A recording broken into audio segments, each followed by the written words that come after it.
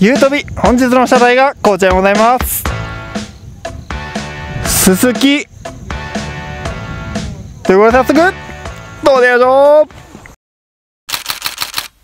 はいということで本日は和歌山県の大石高原っていうところにこのすすきの写真を撮りに来てみたんですけども今日もね安定の曇り空です。でもね向こうの方が若干晴れてきたのでねここから夕方に向かって夕焼けになるのを願っております。ということでまずはこの昼の時間帯にここから縦構図で撮っていきます。この位置から望遠で縦構図で撮ります。そうすると奥にねこの山を入れれてで手前にこのすすき綺麗に育ったすすきを入れるんですよ。で横構図にしてしまうとこっちの道とか右の方ねなんかようわからへんいっぱいススキがじゃってあるんでその右と左をあんまり入れたくないっていうことでこの縦のここの部分だけを切り抜こうと思います。でこの手前のススキと奥のねこの山めちゃめちゃ距離が離れてるんですよ。なので望遠で切り抜くことで圧縮効果を使って1枚の画角の中にぶち込もうと思います。それでね他にもまあススキいっぱい咲いてるんです。ススキ咲いてるって言い方わからんけどススキがいっぱい生えてるんですけどこの部分がね割とまだ一番茶色くススキが育ってる部分やったんでここを選びましたでちょうどね奥に山もポコってあるんで奥行き感も出るかなと思ってここ縦構図で望遠で切り抜いていこうと思います。あと最後ねこのススキが風で同じ方向一定の方向を向いたタイミングを狙って取っていきます。はい。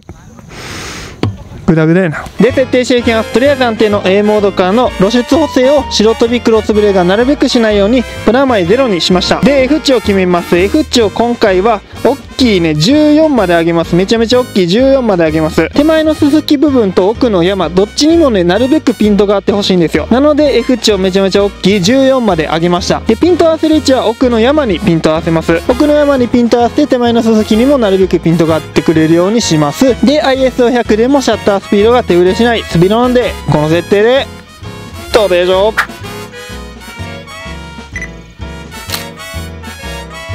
はい、というこんな感じの写真になりまして縦構図で入れたいところだけを切り抜きました。右と左の部分を排除してこの真ん中の部分だけを入れました。で前傾にね手前をいっぱいビャッと入れましたと。でそのススキの向きが全部同じ方向を向いてるタイミング。風が左から吹いて全部のススキが右側を向いてるタイミングを狙って撮りました。で縁14まで大きくしたんで奥の山にピント合わせてもなるべく手前のススキのピントが合ってるみたいな感じの写真にしました。であとたまたまなんですけど上のね空の部分にこのいい感じの丸いねどでかい雲が1本バコンとね入ったのでそれがいい感じのね雰囲気になったなと思います。ということで次。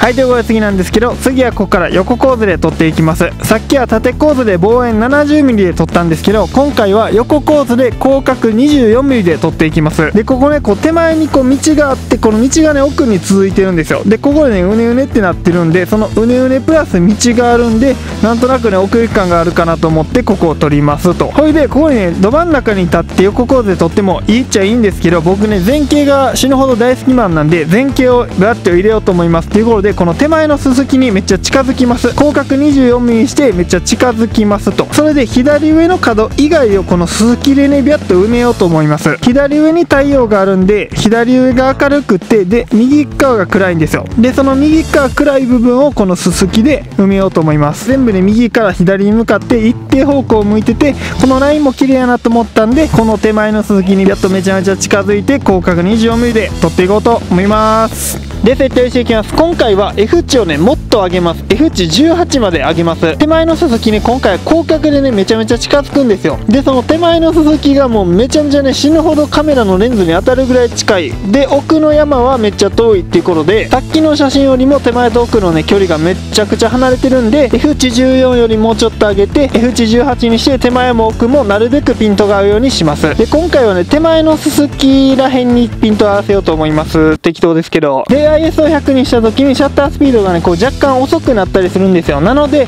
IS をちょっと上げときます。IS を320ぐらいまで上げるとシャッタースピードが絶対に手振りしないスピードになるんでこの設定でどうでしょう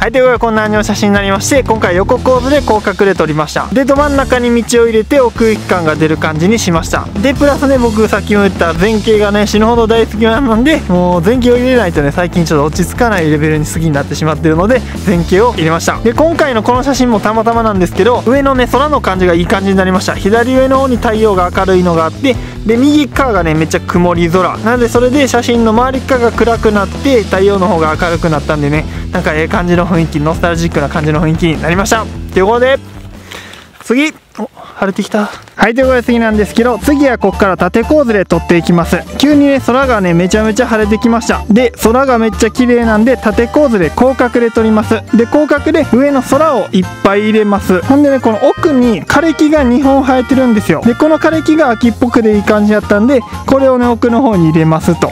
で広角 24mm 縦構図にした時に下の方にねすすきを入れます。でこう手前の方下の方めっちゃ手前の方まで入れるとこの緑色の部分雑草っぽい部分分が入っちゃうんでこの辺の奥の綺麗なすすきの部分で写真の下の方を埋めようと思います。ということでここを縦構図で広角で撮っていこうと思います。24mm です。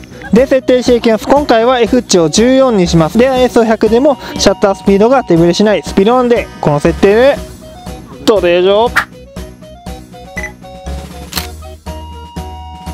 はい、ということでこんなの写真になりまして縦構図で広角 24mm で撮りました。でそうすることで上のね綺麗な空気持ちいい高い空をいっぱい入れました。で縦構図広角なんで、ね、奥のね木が2本立ってるやつねめっちゃ小さくなってると思うんですよ。でその小さい分なんかねめちゃ広々い写真になったかなと思います。適当なこと言ってます今。でもさっきから一緒で手前のススキが風で同じ方向に向いたタイミングを狙って撮りました。ということで次夕焼けに期待。空が焼けなかった時用に撮っときます。はいということで次なんですけど次はここから縦構図で撮っていきます。奥に太陽が出てきました。めっちゃ綺麗な太陽光が逆光で入ってきてますと。でそのおかげで手前のねこのススキたちがめっちゃキラキラな黄金色に輝いてるんですよ。なのでこの手前のススキをいっぱい入れます。で手前に綺麗なススキビャッと入れたそのちょうどど真ん中の奥にこの山部分があった方がいい感じの収まりピントが合いませんけども山部分がある方がいいかピントが合いません。けどもこの山みたいな部分を入れます。ピントが合っておりません。ピントが山みたいな部分をこれ入れます。奥のど真ん中に入れます。ほんでこの山手前にすすきで左側にこの太陽を入れますでこの太陽を今回は F 値を大きくしてねウニウニにしようと思います。工場工房っていうんですけどウニウニさせようと思います。ということでここ縦構図で広角 24mm で撮っていこうと思います。で設定していきます今回は F 値を14にします。大きめの14にします。手前の鈴木と奥の山全体的にピントがあってほしいので F 値を14にします。で今回は奥の山にピントを合わせます。で手前の鈴木にもなんとなくピントが合うようにします。ほんで太陽をウニウニにしたいっていうことで工房を出したいっていうことで F 値を14にした方がウニウニするんでこれも結果オーライです。で ISO100 でシャッタースピードが手ぶれしないスピードなんでこの設定で。どうでしょ？はいということでこんな感じの写真になりまして縦構図広角 24mm で撮りました。で手前の方にススキをねバッと入れてそのススキに奥の太陽がね光が逆光で当たっててええ感じの雰囲気の写真が撮れました。で奥の山を写真のちょうどでど真ん中に小さくぶち込むことでなんかええ感じのね収まりになりました。で太陽をね縁大きくしてウニウニさせてでちょっとこだわったのがそのウニウニしてるところにちょうどねススキが1本かぶってるぐらいの位置にカメラを陣取りました。はい。でねこの動画が使われているということは夕焼けがしなかったということで残念です。はい。運がありません。ということでもう取るものないので終わります。はい、ということで本日は和歌山県の大石高原っていうところに写真を撮りに来てみたんですけども最後ね夕焼けしそうでしなかったんですけどもちょっと待って。撮ってきます。撮ってきます。